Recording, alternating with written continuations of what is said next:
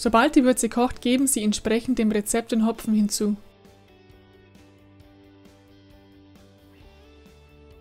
Verwenden Sie hierzu entweder ein Hopfensäckchen oder den Hopspider, wie in diesem Fall gezeigt wird. Während dieser Brauphase können Sie weitere Zutaten wie Muscovado-Zucker oder andere Gewürze hinzugeben.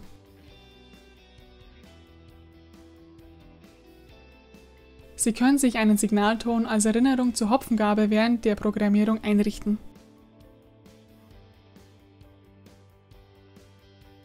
Nach dem Würzekochen ist das Programm beendet und Sie müssen die Würze kühlen.